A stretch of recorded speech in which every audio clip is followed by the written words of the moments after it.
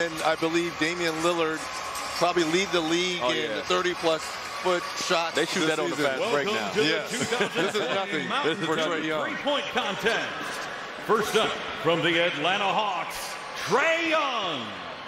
Another thing we haven't talked about, where do they put their money rack? Trae has elected it to be his one. last At the end. rack at the end. So will he be too tired and will he get all of them off? Oh.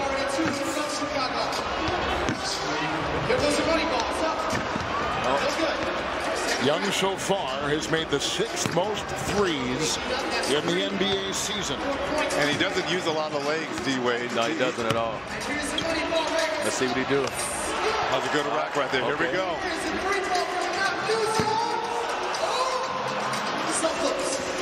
Now remember, there was 10 extra seconds added to this because of those two Mountain Dew zone balls. Okay, I, So, I was saying, I'm like, he kind of going a little slow. He casual, but he got time. yeah, it- it looks like he's running out of gas a little bit here. That's what I'm seeing. That shot, even though they have that range, that's not an easy shot to No, make. it's not. They normally come in at it from a different angle.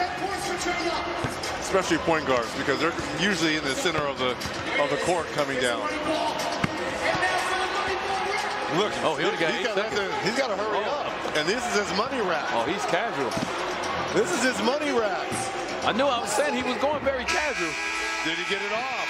No. He did not get it off. See, And a that's the problem with having your money rack as your last rack. But once again, the, every guys go casual out here instead of going for it.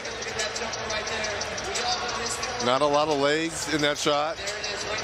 Really, his second rack was arguably his best rack. Knocks down a couple here. And again, as you mentioned, D-Wade, very casual. Very casual. Very casual.